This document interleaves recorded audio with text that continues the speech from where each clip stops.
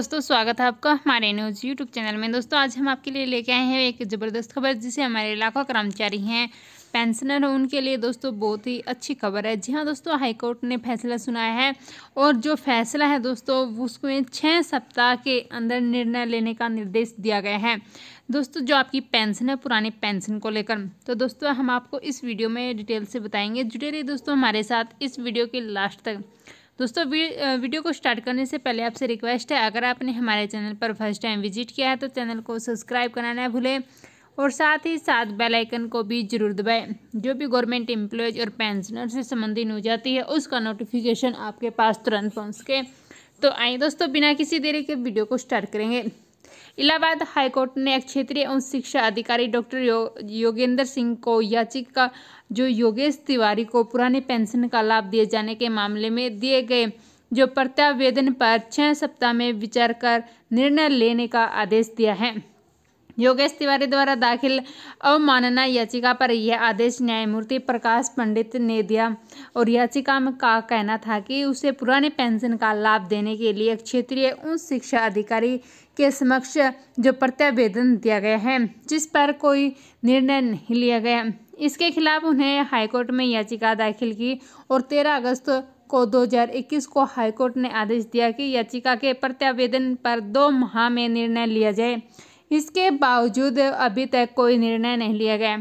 इस पर कोर्ट ने क्षेत्रीय उच्च शिक्षा अधिकारी को आदेश के अनुपालन का एक और मौका देते हुए छह सप्ताह में याचिका के प्रत्यावेदन पर निर्णय लेने का निर्देश दिया गया है। लिखा अधिकारी को अवमानना नोटिस जारी। इलाहाबाद हाईकोर्ट ने वित्त एवं लेखा अधिकारी बेसिक शिक्षा आजमगढ़ सुनील कुमार भारत को अवमानना का नोटिस जारी किया गया है और उनको भी ऐसे जो आजमगढ़ के 9 सितंबर 2021 के आदेश का पालन करने का निर्देश दिया गया है। कोर्ट ने कहा कि नो, जो नोटिस है वो सी जे एम आजमगढ़ के मार्फत तीन दिन तामील किया जाए। कोर्ट ने कहा है कि यदि विपक्षी आदेश का पालन नहीं करते तो अगली सुनवाई की तारीख 9 नवंबर को हाजिर हो। और यह आदेश न्यायमूर्ति प्रकाश पांड्या ने राम लगन यादव व आठ अन्य की अवमानना याचिका पर दिया जाएगा। याचिका का कहना है कि शिक्षा सत्र में बदलाव के कारण जून से पुनः करें बार ग्रहण करने तक के बकाया वेतन भुगतान का कोर्ट ने आदेश दिया, जिसका अनुपालन करते हुए बी एस ए ने लेखा अधिकारी का भुगतान करने को निर्देश दिया और अनुपालन रिपोर्ट के साथ हलफनामा दाखिल किया गया। इसके बावजूद लेखाधिकारी आदेश की अवहेलना कर रहे हैं। भुगतान करने की ज़िम्मेदारी जो लेखा अधिकारी का है, जिस पर कोर्ट ने लेखा अधिकारी को नोटिस जारी कर आदेश का पालन करने या कोर्ट में हाजिर होने का निर्देश दिया गया है। इलाहाबाद हाईकोर्ट ने महात्मा गांधी काशी विद्यापीठ वाराणसी में पीएचडी कोर्स में प्रवेश में धांधली को लेकर दाखिल याचिका पर राज्य सरकार व विपक्षियों से जवाब मांगा है। कोर्ट ने विपक्षी professor Yogendra Singh, professor Raghavendra Pathri, professor Lakshmi Shankar Upadhyay, लिपिक मोतीलाल वर्मा पूर्व लिपिक राजपति राम, लिपिक जो शशिकांत सिंह और पुरुषोत्तम मिश्र को नोटिस जारी किया गया है। इन लोगों के खिलाफ एफआईआर दर्ज करने की मांग में दाखिल अर्जी को सी जे एम वाराणसी द्वारा निरस्त करने की वैधता को चुनौती दी गई है। सीजेएम ने यह कहते हुए अर्जी खा, खारिज कर दी गई कि दंड प्रक्रिया संहिता की धारा एक सौ सत्तानवे के तहत राज्य सरकार इसकी अनुमति नहीं ले सकती और इसलिए कोर्ट एफआईआर दर्ज करने का निर्देश जारी नहीं कर सकता। सीजेएम वाराणसी के आदेश के खिलाफ अर्दली बाज़ार के निवासी सुधांशु कुमार सिंह की आपराधिक पुनर्निरीक्षण याचिका पर यह आदेश न्यायमूर्ति राजीव मिश्रा ने किया है।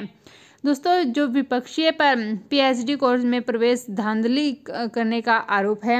सरकारी ज़मीन पर अतिक्रमण के मामले में एसडीओ व तहसीलदार से स्पष्टीकरण तबल इलाहाबाद हाईकोर्ट ने एसडीओ व तहसीलदार में जो प्रयागराज से व्यक्तिगत हलफनामा दाखिल कर स्पष्टीकरण पेश करने का निर्देश दिया।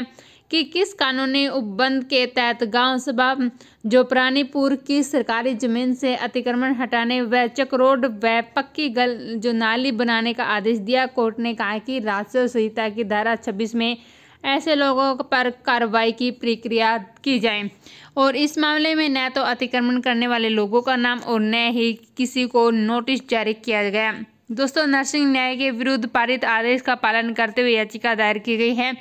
कोर्ट ने कहा कि अनुच्छेद दो सौ छब्बीस के अंतर्गत ऐसे आदेश के पालन करने का समादेश जारी नहीं किया जा सकता, जो कानूनी प्रक्रिया का पालन किए बगैर जारी किया जाएगा।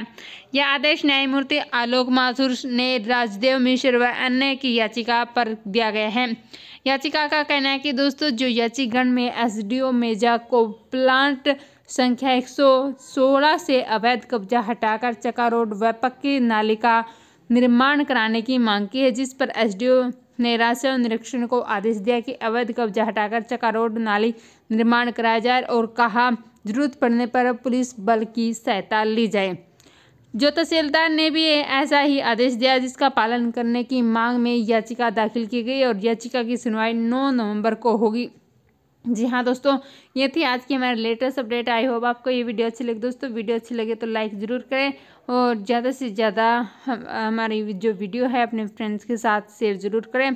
तो मिलेंगे बड़ी अपडेट के साथ नेक्स्ट वीडियो में। तब तक के लिए दोस्तों, आप सभी को जय हिंद, जय जवान, जय किसान।